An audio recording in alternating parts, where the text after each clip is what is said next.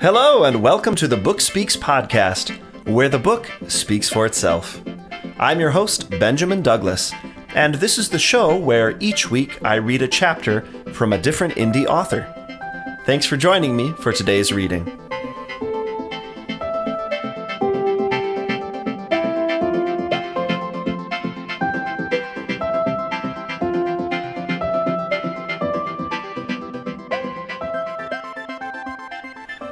Hi, happy Friday, readers and writers. As always, this is Benjamin Douglas welcoming you back for another episode of the Book Speaks podcast, where the book speaks for itself. And thanks for being here today with me for episode number 18. 18. Today we'll be featuring the work of indie author Roberta Kagan, who writes primarily World War II historical fiction and um, historical romance and I'm going to be reading from her work today as part of a multi author promotion that's happening over the next couple of weeks in conjunction with the release of the Christopher Nolan directed film Dunkirk. If you've been watching TV, you've seen some previews for this. It looks like a really well made war film. Christopher Nolan, for anyone who um, doesn't know, he's a director uh, one of my favorite directors right now, who kind of came on the scene with Memento. I really got on board with The Prestige. Uh, he also directed the Christian Bale Batman trilogy and um, Interstellar, a really beautiful science fiction film. A lot of people know him for Inception as well. Um, so he's doing some exciting blockbuster work, and he has this film Dunkirk coming up. So, this week and next, I'll be reading from World War II historical fiction authors, beginning this week with Roberta Kagan. And I have a little spiel to read um, regarding this promo. This was drawn up by Alexa Kang, friend of the show, from whom I read a few weeks ago. Um, she writes While we anticipate the upcoming release of director Christopher Nolan's summer blockbuster movie Dunkirk, the authors of the Facebook Second World War Club have joined together to invite readers interested in World War II to more riveting tales beyond Dunkirk.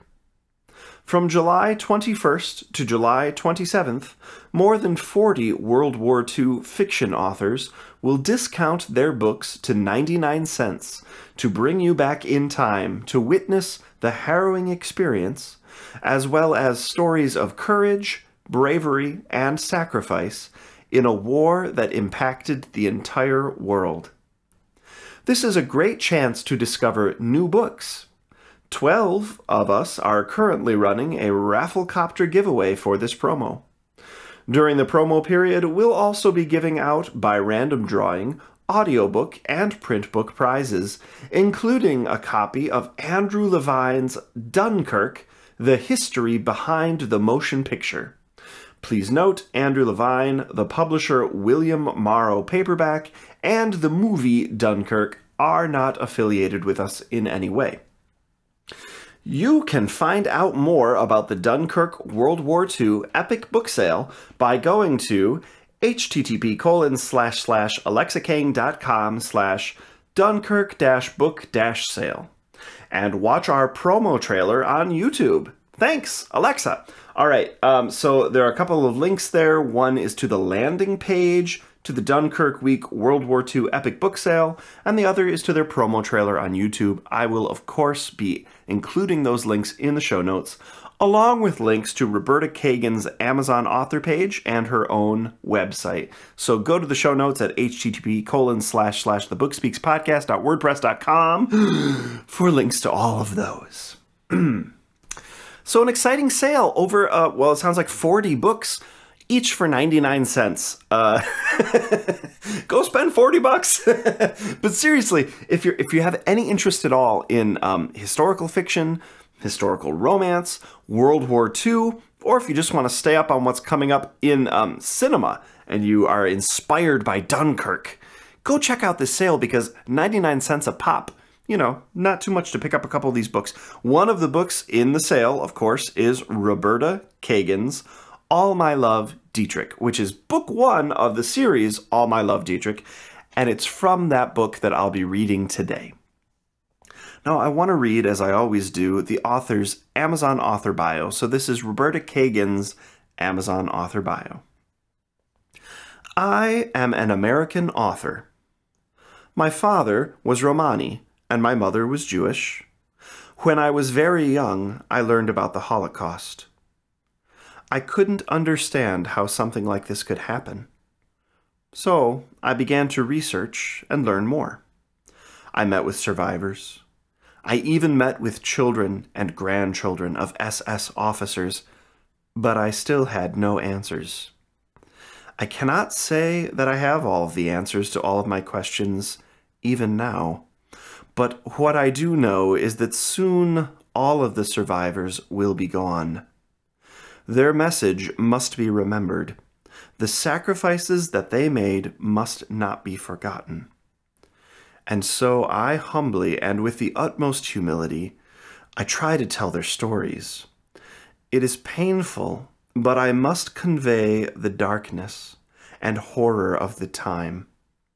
However, I also want the world to know and celebrate the unsung heroes because there were many ordinary people who acted in heroic ways. I realize that writing these books is a great responsibility. I pray every day that I am able to do this correctly. I am trying to reach out and touch many people, not with the message of the horrors, but with the promise of hope. I thank you from the bottom of my heart for considering my work. It is an honor that I never take lightly. I send you many blessings. Roberta. How's that for an author bio? very, um, very poignant. I thought when I read that, I was really sort of taken aback. You know, it, it's funny. Some things.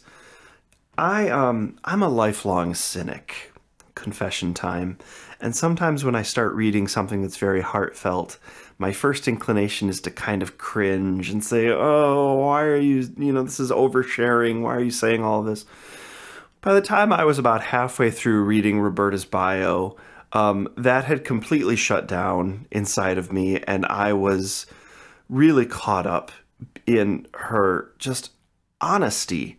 Um, if this is marketing, and you got to kind of say that it is because it's an Amazon author bio after all. It's brilliant marketing because it's really heartfelt, it's raw, it's honest. And uh, a couple things I noticed she didn't drop any links to a mailing list or a Twitter account or anything like that. Um, not that there's anything wrong with doing that. I mean, I do that in mine, but it would have seemed a little trite, wouldn't it have, um, in the midst of talking about honoring the memory of Holocaust survivors.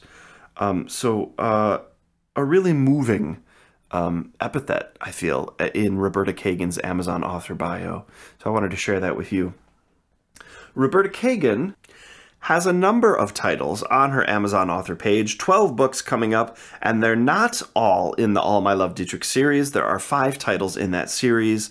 There are other series as well, such as the Michael's Destiny series, and um, I'm just kind of taking a cursory glance here, but it does look like everything is World War II related. Um, so if you're if you're into this at all, you should definitely be checking her out. She's got lots of high positive reviews. Um, she's got a couple of titles that are bestsellers with the Amazon bestseller tag. Um, so definitely worth checking out. And this title, All My Love Detrick, as I mentioned, it's going to be 99 cents during this promo run. Um, and it's um, it's an interesting the way that it's structured is interesting. Some of the chapters are quite short. In fact, I think most of the chapters are quite short, but there are like over a hundred chapters in the book, so you, you, definitely get your money's worth. It's a good long read, um, but because the chapters are so short, I actually read chapters one and two but then before that, there's a quite lengthy prologue. And so, um, oddly enough, for length of time for the show, I only read about half of that prologue. So you're going to get a chunk of the prologue, and then you're going to get all of chapters one and two today from All My Love Detrick by Roberta Kagan. Um, I hope that doesn't throw anyone off too much. I think it works pretty well because the prologue is all in the past when the protagonist, Detrick, is a child. And then chapters one and two, he's a young man. So we kind of leap forward in time, and it's sort of, there's a nice divide there. Yeah. Um, so it wasn't long ago that we lost, you know, the last survivors of the greatest generation. I do see occasional interesting stories about both Holocaust survivors and um, an interesting group of people, survivors who are still under investigation for Nazi war crimes. Um, people who, as very young men, were, you know, guarding um, concentration camps and young SS officers and the like. Um, and that generation is fading fast too. Uh, most of these people are like in their 90s now and um, probably don't have long for this world. And the people who are telling these stories um, at, with some degree of firsthand experience, like the children of survivors, they're also um, quite elderly. So it's a fascinating time, I think, to delve into World War II as history because it is sort of removed, right? Like, it is a while ago. We've had a lot of events happen since then. Um, in the global scheme of things, of course, modernity began in, you know, the age of reason. Sure. In a narrow scope, I kind of feel like the world we live in today began post World War II. We tried to make it happen post World War I with the League of Nations. That crumbled and fell apart largely because the Treaty of Versailles was kind of right, and all the resentment and the poverty combined with the nationalism and everything brewing in Germany. And then we had World War II, and then United Nations, right? And um, I, I don't want to get super political or super doom and gloom because this is not a political podcast, but of course it's it's hard to deny that in the current political climate here in 2017, in much of the Western world, we're seeing a rise in nationalism, a rise of discontent with our leaders, and um, maybe a rise in uh, the the um, proclivity to blame the other to blame other people groups, other uh, nationalities, ethnicities, or races. Um, yeah, and and there's because of all the unrest happening in the Middle East, which you know that's nothing new, but um, because of the like the Syrian refugee crisis and the ongoing war and turmoils there, there are plenty of the other coming into the Western world um, to be put under that microscope and spotlight. So uh, again, I'm not trying to make shadowy predictions um, just because that this isn't really the, the forum for that. But um, I do think that understanding World War II and understanding what led to it and understanding the Holocaust is very important uh, in our current political climate, in, in this current time. Um, very, very important. Not because I'm saying it's all about to happen again, but because um, history is doomed to repeat itself to those who don't learn its lessons. Right? Who's who said that? I don't know. it's a famous quote. Um, so uh, there's my proselytizing for the day. Soapbox speech ended. Uh, but kids, you should know something about World War II if you don't. So, um, without any further ado, we're going to hop into this reading. This is from All My Love Detrick by Roberta Kagan. Do come back next week. I'll be reading from David Spiller's Girl at Dunkirk, which will also be featured in the promo. And starting next week on July 21st, for a week until July 28th, look for that uh, sale of 40 books, 99 cents each. You can get a link to that in the show notes. Thanks and enjoy the reading. All My Love, Detrick. Fourth edition, published May 2nd, 2016. Book one of five in the All My Love, Detrick series. By Roberta Kagan. Prologue. Berlin, Germany, 1923. Inga Haswell sipped steaming tea from a chipped china cup as she gazed at the second-hand bicycle. It stood with its front wheel slightly turned in the middle of her sparsely furnished living room. It seemed to be tilting its metal head and staring back at her.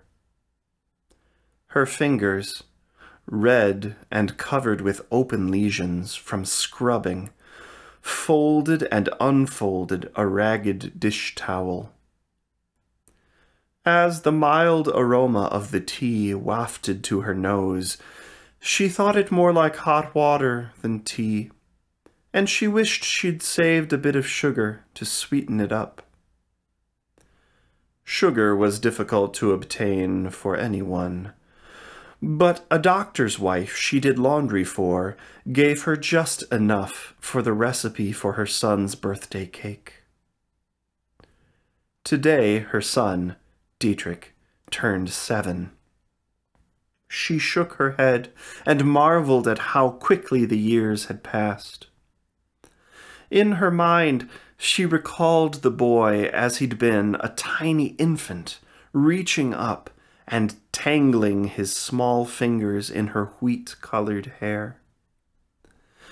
It had been so long ago, but to her, it felt like a moment as she allowed her mind the indulgence of drifting into the past, her memory of girlhood returned.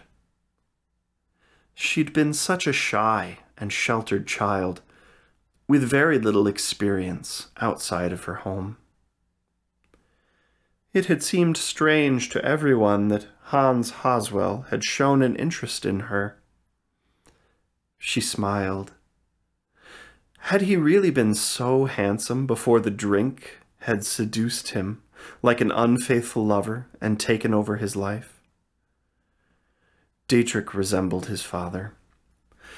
In fact, both he and his sister, Helga, had their father's good looks. In her youth, she'd been slender, with a plain face. Not ugly, just ordinary. Thoughts of Hans brought an empty ache to her chest. Once he'd been the brightest star she'd ever known, and such an athlete. Inga recalled the first time she'd seen him. He'd been playing football in the park. With his blond hair shining like polished gold, he'd caught the sun's rays, seeming to light up the entire field. He looked over to find her staring at him, and he smiled a bright, white-toothed smile that had captured her immediately. Even now she recalled how foolish she'd felt, how her face had grown hot as she'd looked away in embarrassment. It came as a shock that she should have the attention of one of the most popular boys in school. There could be no doubt that he had his choice of girls, but he'd chosen her. She smiled at the memory, the skin around her eyes sinking into dark, cavernous crevices. They'd fallen in love that summer and married early that fall. Well, he'd fallen in love that summer, but her love had been instantaneous. Then the war came, poisoning the country's young men with dreams of heroism. Hans enlisted, leading a large group of his friends to follow. With the passion of patriotic conviction, he'd walked through the city wearing his uniform, inspiring awe throughout his neighborhood. Hans basked in the glory, reveled in it, in fact. Their friends and families hosted dinners where the liquor flowed freely, and toasts to his honor continued throughout the night. There she had been, right at his side, her heart swelling with pride. This brave and astounding man belonged to her. Little insignificant Inga. The feeling had been so powerful and consuming that even now she could recall it as if it were yesterday. When his company marched out of Berlin, her world went dark, as if the entire universe had been lit by a single candle that now lay extinguished, leaving only drifting smoke in its wake. She grew serious, unable to laugh, and had no heart to accompany her friends when they attended parties or picnics. Instead, she wrote long letters filled with emotion, holding them tightly to her heart before she sent them off to her beloved. While Hans engaged in battle somewhere far away, she worried incessantly. He'd only returned home on leave once, two years after he'd left. When she saw him, Inga cried and laughed and wanted to hold him so tightly that he would be unable to leave again. However, Hans had stayed for only a few days, but it was long enough for Inga to become pregnant.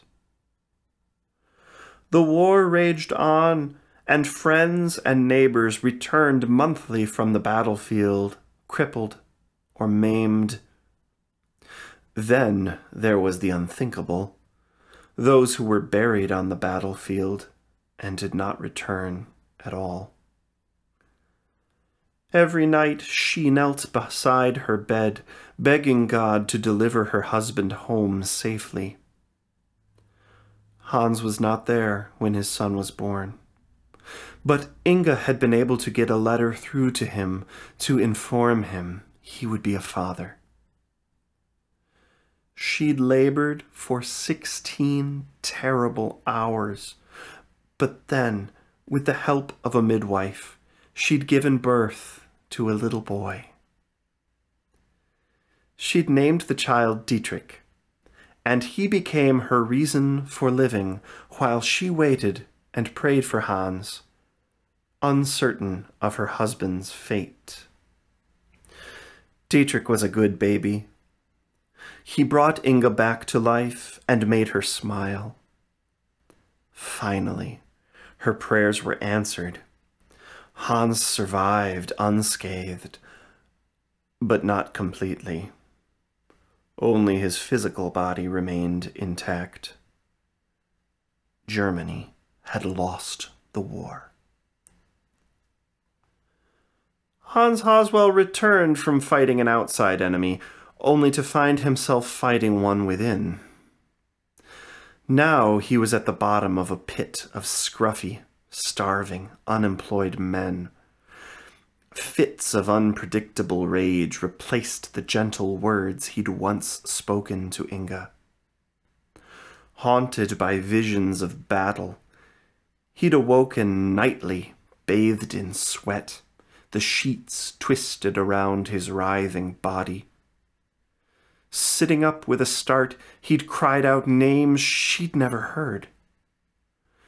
When he was awake, his hands shook, and sometimes he had trouble swallowing his soup, which leaked out the side of his mouth and onto his chin.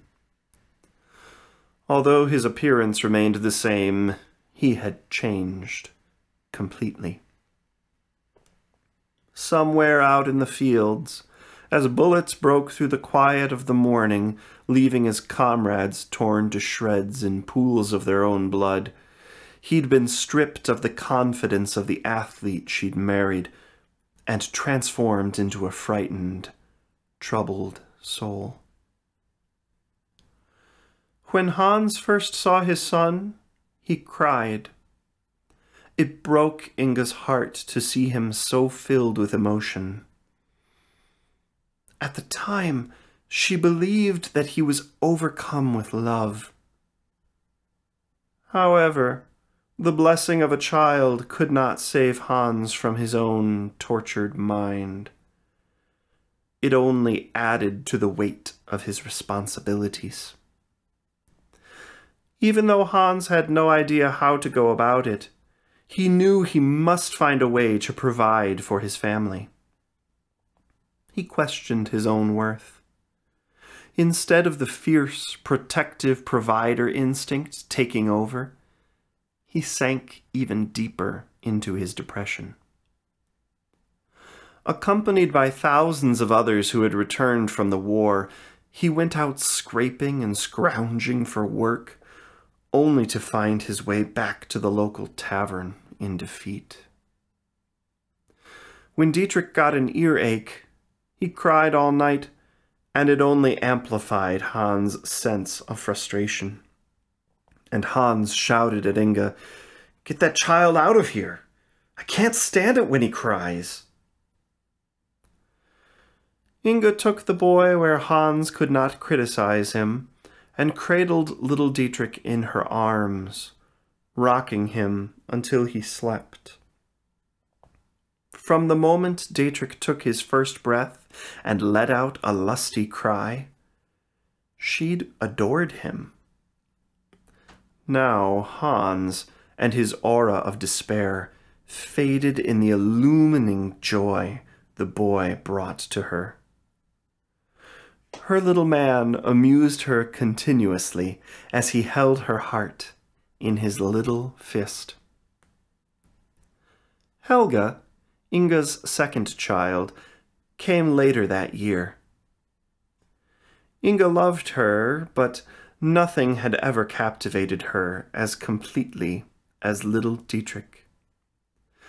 In a way, she felt that Detrick had saved her. If Detrick had not come along, she feared she might have taken her own life. However, the baby had only served to reinforce Hans's inability to support his family with a devastating effect.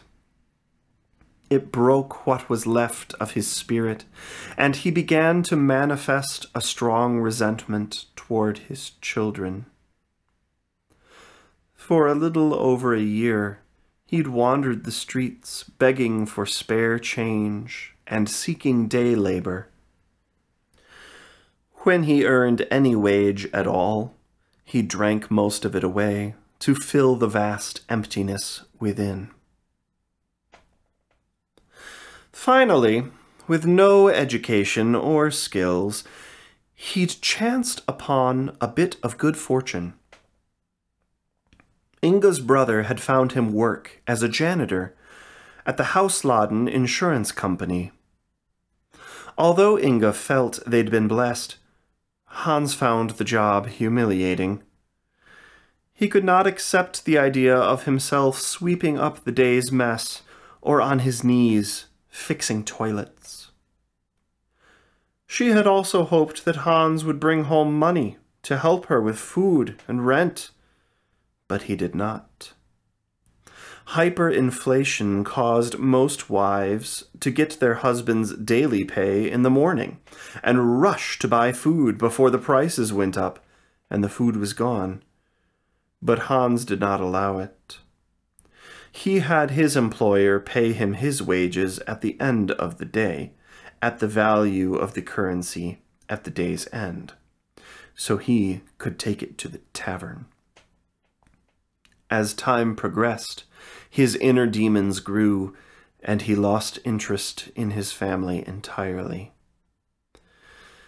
He thought only of the end of the day, when he would take his suitcase full of nearly worthless money and head for the only comfort he could find in the bottom of a bottle. The responsibility to keep them from starving or being evicted fell entirely on Inga, who struggled to feed them by taking in laundry. She did not have time to wait in lines at the stores like the other wives, so she bartered her services whenever she could for food, taking cash only to pay the rent. Lost in her thoughts of the past, and gazing out the window, Inga did not see seven year old Detrick as he entered the apartment, returning from school. His aqua blue eyes filled with light as he looked at the bicycle. Mama! He ran into her arms. Happy birthday, sweetheart.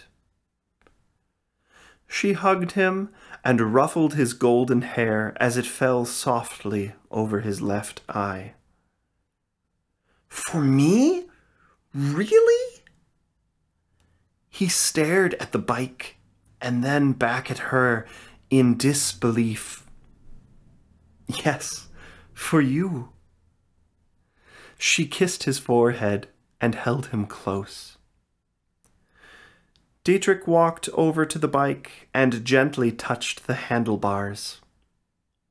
Then he walked around it twice and stopped to touch the seat, his eyes wide with wonder.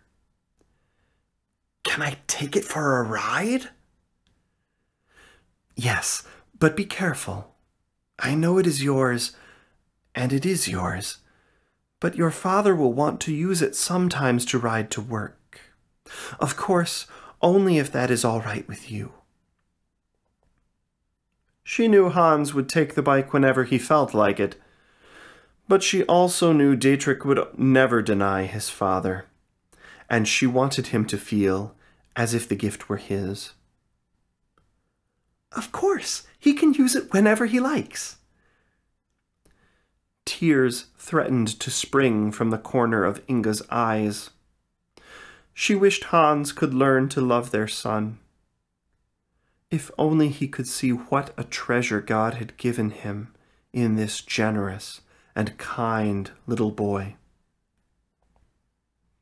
The door opened, and a lovely girl who would be four years old in November, with long golden curls, entered the room. Hi, Mama. Hi, Detrick. Helga looked over at the bike is that Detrick's birthday gift? Yes, dear, it is. Happy birthday, Dee. It looks pretty bad. She ran her hand over the dent on the wheel cover and frowned at the faded black paint. Inga shook her head, marveling at how different her children were. Detrick would never notice the imperfections, and Helga, well, things had to be the finest quality to satisfy her. I think it's beautiful. Detrick smiled at his sister. And when you get bigger, I'll show you how to ride. Thanks, Diet, but no thanks, she said, suspiciously eyeing the beat-up old bike. Can you ride it? Yes, I learned on Conrad's bike. Helga went to her room to change clothes before meeting her girlfriends in the courtyard of the building to play. Helga, make sure Heidi is down at the courtyard watching her little sister, or you come right back. Yes, Mamma. His mother could not help but smile when she looked at the young face filled with joy. Now, I have to get back to the wash. Mrs. Reitman will be expecting me to deliver it by this afternoon. You two run along and play. And, Detrick, if you are going to ride, try to be home by six. I've baked a surprise for you. I want to serve it after dinner. Your father will probably not be home until very late, but if he is not here, we will enjoy the cake without him, yes? With a wink of her eye, Inga assured her son that, regardless of his father's presence, his birthday would be a celebration. When she allowed herself to indulge in wishes, she thought of Hans. If only he would offer to carry some of the financial burdens of raising a family, instead of taking his daily wages to the bar, as he undoubtedly would tonight. If he made some effort, She might be able to spend less time scrubbing dirty clothes from early morning until late at night. Detrick turned to Inga. I love you, Mother. He hugged her. Thank you so very, very much for this wonderful birthday. I will never forget it. Ever. All right then, my darling. You promise to be cautious? Now don't be gone too long. I will worry if you are. Inga held him tightly for a moment, inhaling the essence of him, then kissed the top of his golden hair. Put on your jacket. There's a chill in the air. Yes, Mamma. I promise to be careful, and I'll be back by six. He cautiously guided the bike by its handlebars, down the staircase, and out into the bustling street. Chapter 1 Berlin, 1933 After the loss of the First World War, followed by the signing of the Treaty of Versailles, Germany plunged into a Great Depression. The country suffered both financially and psychologically. The people lost their jobs and their pride. Currency and food became scarce as the Germans searched desperately for a leader with ideas and conviction who would end their pain. The blow came down hardest upon the heads of the lower, working class men. Many of those men had served in the army and took the loss of the war as a personal defeat. With their inability to scrounge out a living wage, they grew angry and bitter, searching for answers and someone or something to blame. Meanwhile, under the Weimar government, which was the government that was in place after the war. The country was making great strides in science and the arts. However, Germany seemed to have taken a hysterical descent into wild decadence. Vulgar entertainment and prostitution became commonplace. Political groups sprung up everywhere, promising a solution to the financial devastation, but leaving the people vulnerable and confused. It was a time of extremes. The cry for a hero sounded like a lion's roar throughout the land until it fell upon the ears of one who had been quietly watching and waiting like a spider in its web. Chapter 2 Are you still working for that Jew? asked Conrad Clausen, Detrick's best friend since childhood, lighting a cigarette as they walked home from school together. Charcoal gray rain clouds hung angrily over their heads, threatening to storm. Jacob Abendstern is a good man, he is more of a father to me than my own father ever was, Conrad. And furthermore, what is this with you and the Jews? Why are you so filled with hatred? My man, do you not see what is going on here? The Jewish bankers are the reason we lost the war. They take our jobs, they steal our money. Don't you realize that the Jews are the reason we're poor? Lying, cheating, no good bastards. Conrad, you're my oldest friend, and I care deeply about you, but I won't stand by and listen to you talk like this about Mr. Abendstern. He's my friend, too. He's your employer. Can't you see it? He owns the shop. You do all the work. Detrick laughed. His dimples and full lips gave his otherwise chiseled face a boyish appearance.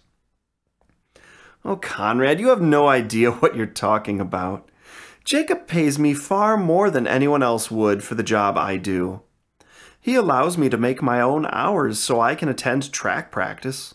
And the man works far harder than he would ever expect, or even allow me to. They walked in silence for a few moments.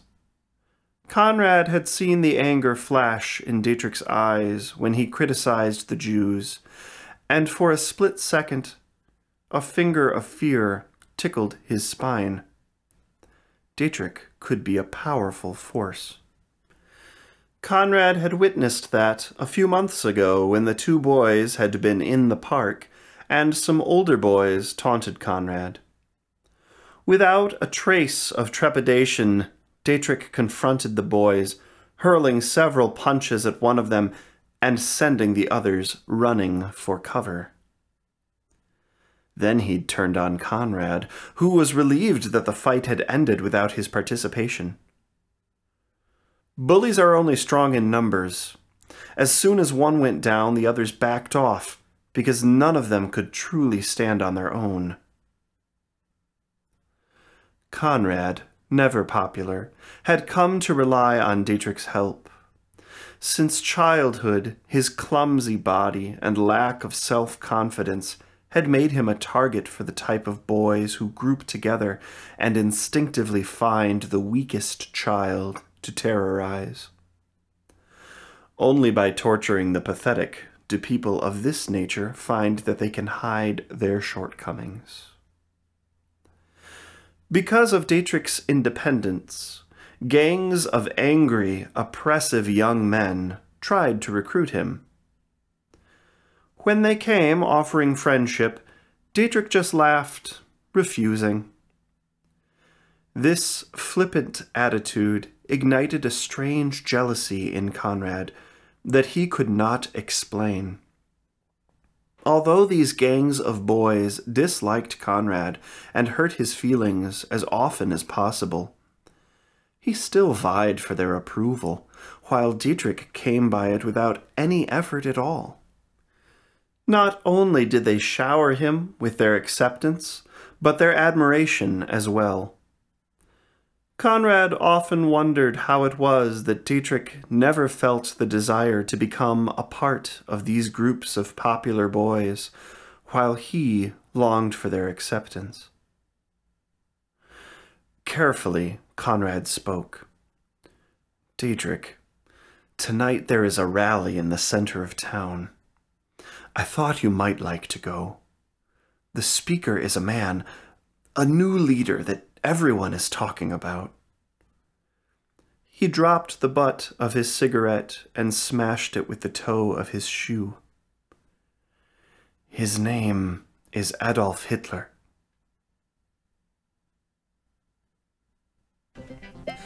This concludes another episode of the Book Speaks podcast, where the book speaks for itself. Thanks for joining me, your host, Benjamin Douglas, for another indie author reading. If you liked what you heard, be sure to visit http colon slash slash thebookspeakspodcast.wordpress.com for more episodes and for links to the author's website and the author's Amazon author page in the show notes. If you'd like to follow me on my own author journey, you can find me at http colon slash slash benjamindouglasbooks.wordpress.com. And of course, if you're an indie author interested in having your work featured on the show, or if you're interested in discussing having your book read and produced by me as an audiobook, feel free to contact me at benjamindouglasbooks at gmail.com. Thanks for joining me today. I hope you have a productive and enjoyable weekend.